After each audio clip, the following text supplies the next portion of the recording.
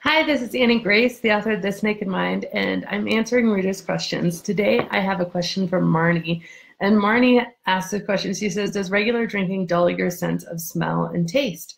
And this is such a good question. Let me talk about smell a little bit first, um, because the research that I found, regular drinking and drinking in general dulls your brain's ability to receive input from all of your senses. So that includes smell and taste.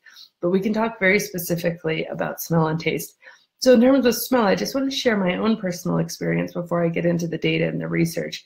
When I I didn't even realize that, you know, I had to put my nose right up to a glass of wine and kind of move it around to get the aroma to come out in order to really smell the wine.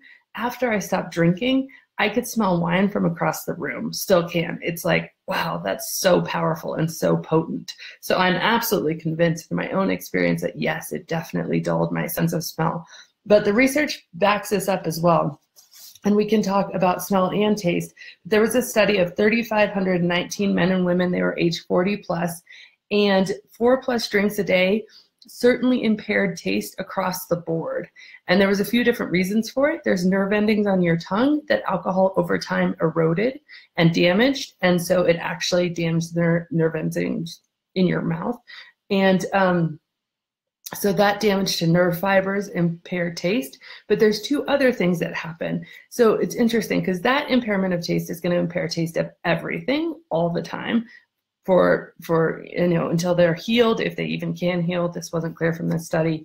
But then also drinking in excess increases it, it has a really high prevalence of vitamin b1 deficiency. And vitamin b1 deficiency damages central regions of the brain that are very important for smell and taste. So again that is exactly what happens is your your deficiency goes down and that part of your brain that is important for smell and taste go down overall. And so really three ways, you know, damaging the nerve abilities, bringing down your B1, which damages parts of your brain responsible for smell and taste. And then the third way is just the very fact that your neurons fire slower when you're drinking or you're drunk. And so in the moment of being drunk, you can't taste or smell as well as you could before you were drunk.